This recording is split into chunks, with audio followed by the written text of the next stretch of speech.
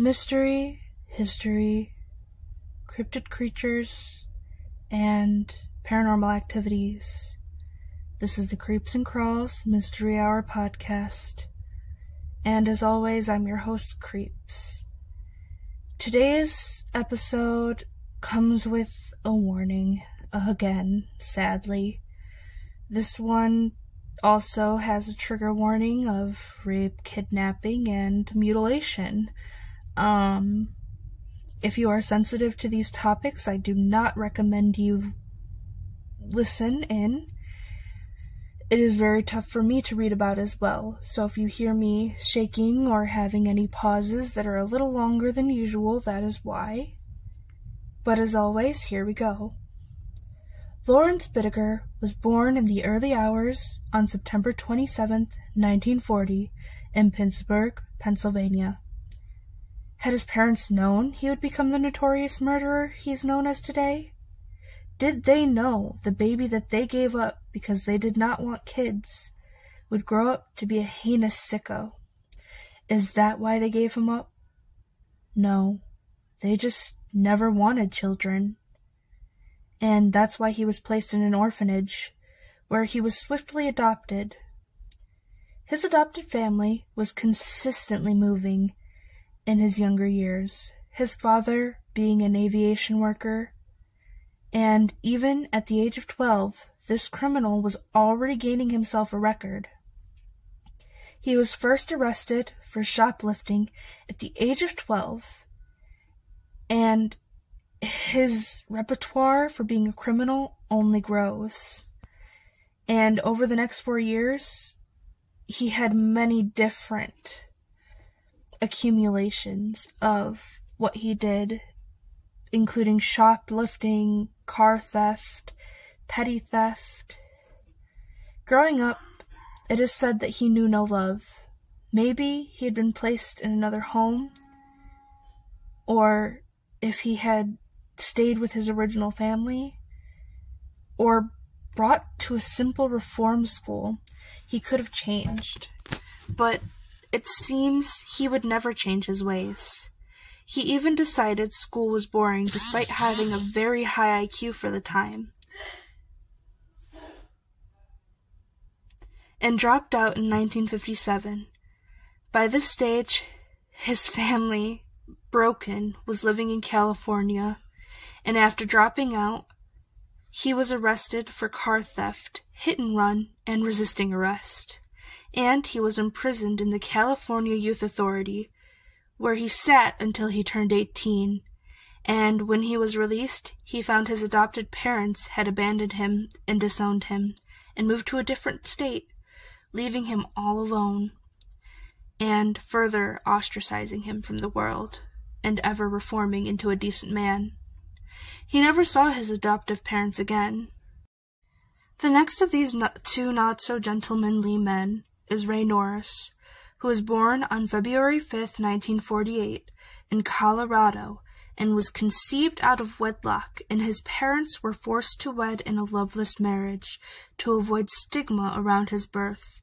He grew up surrounded by extended family because his grandfather owned real estate and his father worked in the scrapyard while his mother was a drug addicted housewife. And because of this, he went from family to foster family, to family again, his whole adolescence never knowing one home. And when he was with his family, he was often accused wrongfully of things he did not do. He was neglected and sexually assaulted, and some awful things happened under the care of a Hispanic family, which caused him to have a very racist view, and I do not agree with any of those views, just to let you know. When he was sixteen and living with his family, he verbally sexualized a female relative in her twenties, who told him to leave and informed his father, who threatened him, and then followed up by beating the ever loving crap out of him. He then stole his father's car, drove up to the Rocky Mountains, and attempted suicide by injecting air into an artery in his arm. And he was later apprehended as a runaway and returned to live with his parents, who told him of him and his sister's unwanted births, which somehow psychologically affected him quite well, and they intended on divorce when they were younger, but decided when both children reached adulthood a year later they would in fact divorce. Norris then dropped out of school and joined the Navy, in which he was stationed in San Diego in 1965 and was deployed to serve in Vietnam. And although he never saw active combat, he was honorably discharged from the Navy after one tour. Shortly after this, he would be arrested on an unknown charge of sexual assault.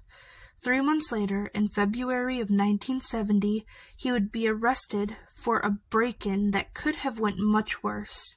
And less than three months later, in May of 1970, while on bail, he attacked a female student that he had been stalking for a long while.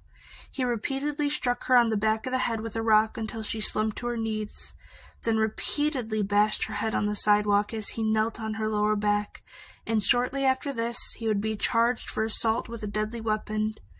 He was then committed to a five-year imprisonment that was classified with a mental disordered sex offender title.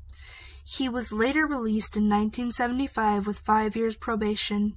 He was then declared no longer dangerous to himself and others, but just three months after this release, he attacked and raped a woman who declined his advances, and although the rape was reported to the police, they were unable to find Norris until one month later, when his bike was spotted and the victim wrote down his license plate number that was then given to police and initiated Norris's swift arrest. He was then convicted for this and sent to a California men's colony in San Luis Obispo, Obispo, and then incarcerated. This is where he met his future partner in crime, Bittaker. From February to June in 1975, Norris and Bittaker picked up over 20 female hitchhikers. They did not rape them, but used it as practice for their later more nefarious runs. And in late April, the duo found an isolated fire road along the San Gabriel Mountains and broke open the locked gate with a crowbar, replacing the previous one with their own. And the first of their brutal murders Lucinda Lynn Schaefer. She was only 16, and on June 24, 1979, she was last seen leaving a church meeting in Redondo Beach. In Bittaker's written accounts, he states that he and Norris first finished a bed they had installed in the rear of a van they were using, which they placed tools, clothes, a cooler, and drinks, and approximately 11 a.m. the pair drove to the beach and were drinking beers, smoking weed, and flirting with girls. And at 7:46 p.m., Norris spotted Schaefer walking towards her grandmother's home, and and they referred to her as a cute little blonde that they would successfully lure her into their van, turn the volume all the way up, bind and gag her with duct tape, and drive to the fire road where they had first raped, then decided who should kill her. And here is where the men's accounts get skewed. See, Bittaker claimed only to being a second to murder, saying Norris strangled her. But Norris claims he ran away scared and that Bittaker finished the strangulation until she collapsed, where a coat hanger was then wrapped round her neck with pliers until she stopped convulsing. Her body was then wrapped in plastic, a plastic shower curtain of sorts, and thrown into a canyon. And Bittaker assured Norris she would be eaten by animals and no evidence would be left the next day. the next in their horrifyingly increasing murder spree would be two weeks later, where they encountered 18 year old Andrea Hall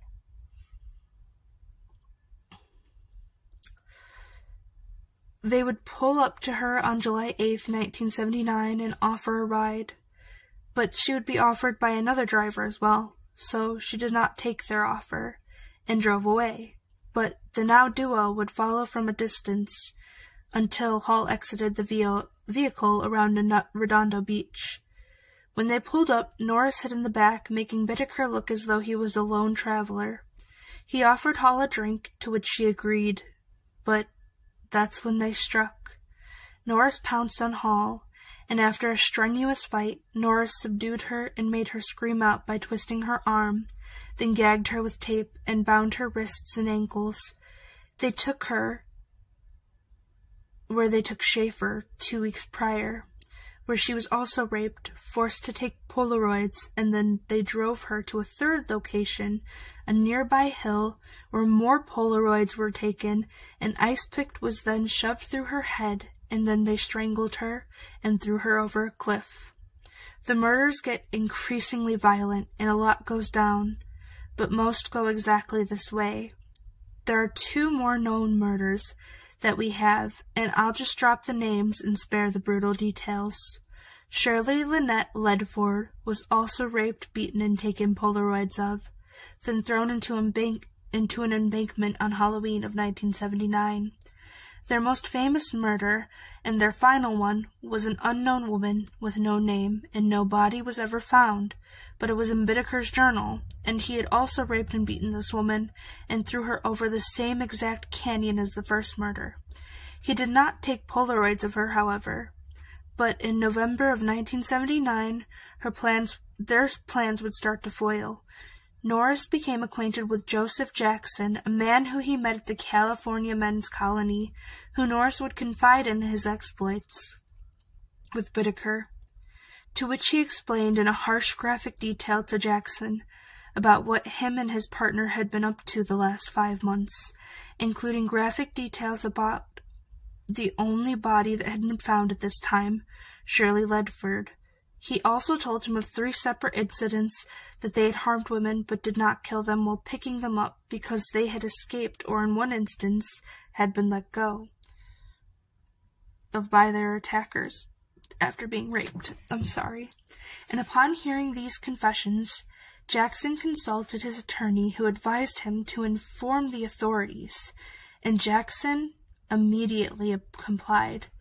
Investigators swiftly staffed the investigating team and began investigating the murders and rapes that took place between June to October of 79 and noted the lineup of some missing girls in the area to Jackson's, Jackson's statement of Norris's confession, as well as the woman who had been released.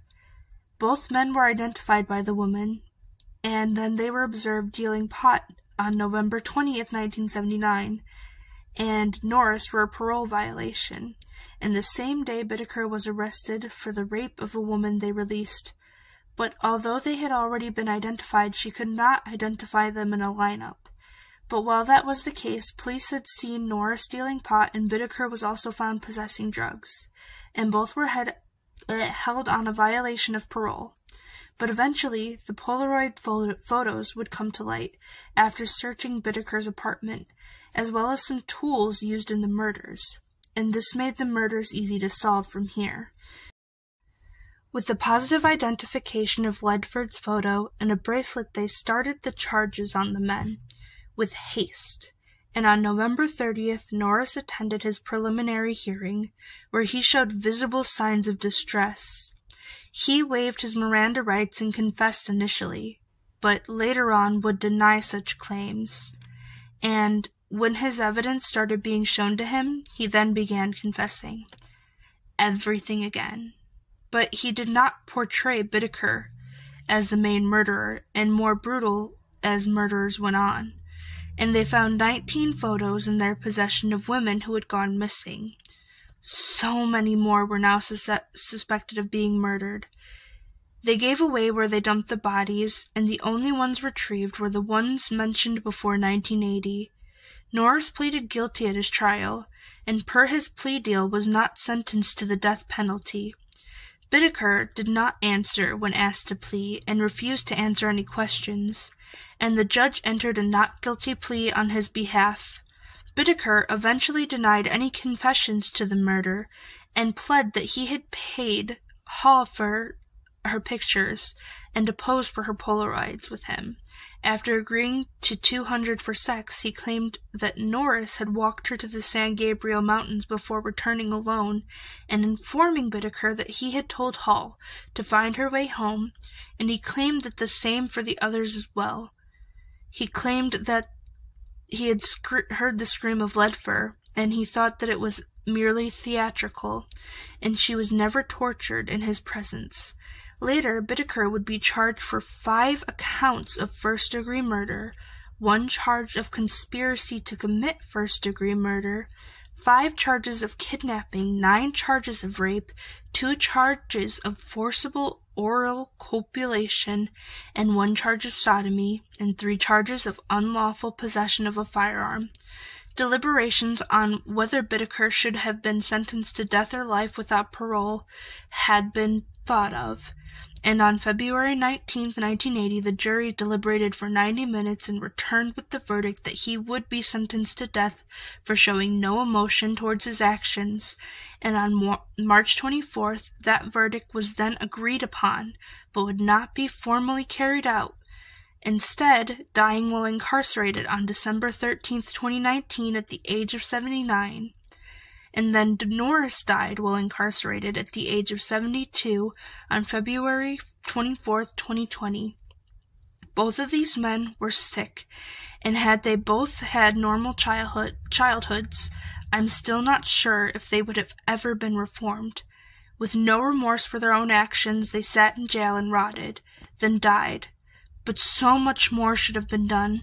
There may never be justice for what they did, and it's a cruel fate to the inflicted on those women. But for now, I want to remind you to stay creepy, my friends.